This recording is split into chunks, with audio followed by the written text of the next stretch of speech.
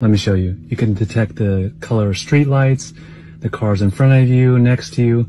You can even detect this pedestrian here. Check it out. And it even can detect the difference between a sedan and a pickup truck.